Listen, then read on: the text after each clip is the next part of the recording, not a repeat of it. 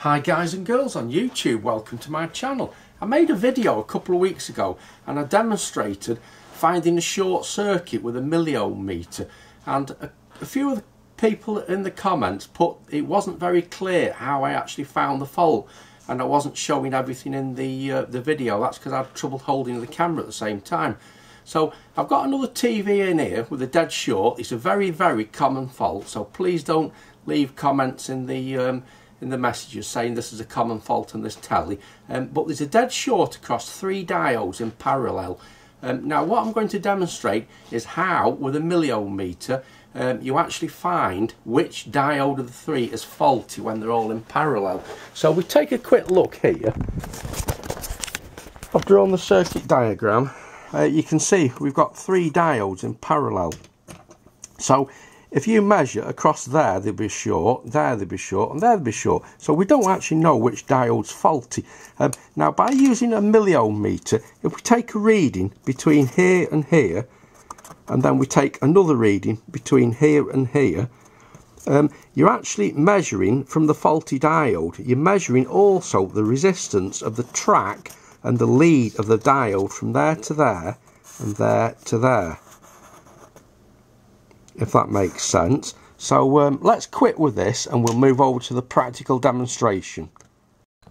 Right, so this is the TV in question. Um, as you can see, the negative wire of my meter, if we follow that through, I'm, I'm having to do this crocodile because I'm holding the camera at the same time. So I've clipped that onto the one of the diodes. Now if we take, uh, if we take the positive uh, probe and if you watch the meter there so if we go on to the first diode there you can see it goes right over there's a dead short. That's on the first diode now if we move to the second diode and put the meter there again there's a dead short. Move to the third diode and again we've got a dead short which is of of course what you find because these three diodes are in parallel. So now I'm going to demonstrate with a milliohm meter how we can single out which of these diodes is actually faulty. That one, that one, or that one. So the milliohm meter set up there. Let's just move that. Take that crocodile off there. So you've got two probes. You clip one. Onto that diode. And then we clip onto the other side and we take the reading. Like that. Oh clips come off. Let's try again. Right. So we look now. We've got a reading of 129 Right, so I've drawn this on this diagram exactly how the diodes appear in the set in the same order. So across that diode there, we've got a reading of 129 milliohms. Right, let's move to the next one. Clip one onto the middle and one onto that end there. Now we've got a reading of 128 milliohms. That's on the middle one. So we move over there and put that in. 128 milliohms and we'll do the first one now. So I'll hold that with the camera. Clip onto the first one and then onto the next one. And now you can see we've got a reading of 127 milliohms so let's put let's just turn that off a minute. So we'll put that on there 127 milliohms. Right, so if we examine this now, the three diodes in the same order they appear in the set, we've got 127 milliohms across that, 128 milliohms across that, and 129 milliohms across that. Now that's telling me that this diode here is the one that's faulty.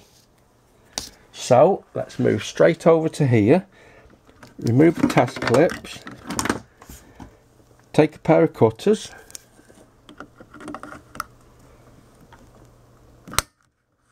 snip off the first diode and let's clip the multimeter onto this first one we've just cut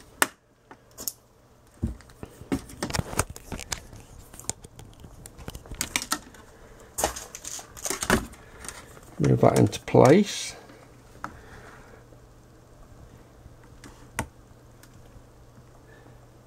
And as you can see that is a dead short. So if we move the probe to the next one now and then move it onto there you can see we're reading now about 7 ohms. That's the forward uh, that's the forward resistance of the diode. So if we move back to the faulty one which is there that short circuit that's not. That's not. So that is how you find um, which of the three diodes is faulty with a milliohm meter so I hope that clears up the confusion. Um, and uh, many thanks for subscribing. And uh, I'll catch you in the next video guys and girls. Alright goodbye um, actually, before we close this video, let me just show you what's alarming about this TV, the runtime. So we put it into the service mode. And if we look there, TV lifetime, 7970 minutes. Right, so take a quick look at this. 7,970 minutes, you divide that by 60, that gives you hours. So if we have a look here,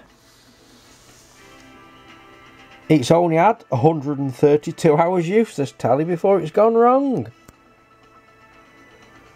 Alright guys and girls, I'll catch you in the next video. Many thanks for subscribing.